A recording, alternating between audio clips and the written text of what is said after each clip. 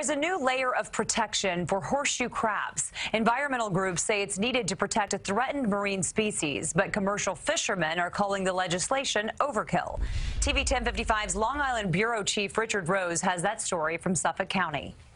Inside this breeding laboratory run by Molloy College in Suffolk County, the next generation of marine biologists is learning about the long history of horseshoe crabs. They've been on this planet for 445 million years. Dr. John Tanacredi warns their ancient lineage is now threatened, though, by overdevelopment and overharvesting. We found at Molloy College is that um, about an 8% decrease in over the years in the numbers of sites that have been supporting breeding horseshoe crabs. Dr. Tana Tanacredi and his young research staff say the loss of horseshoe crab habitats would mean much less food for birds who depend on the millions of horseshoe crab eggs deposited each year in Long Island's coastal waters.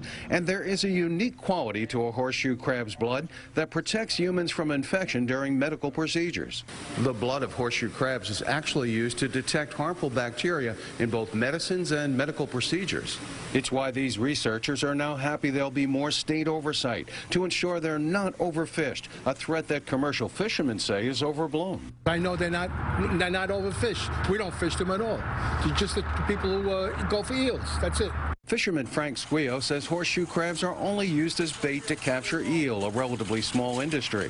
A spokeswoman for one fishing group goes even further, telling us this legislation is unnecessary and reflects the environmental lobby's power, while labeling it another attempt to eliminate the commercial fishing industry.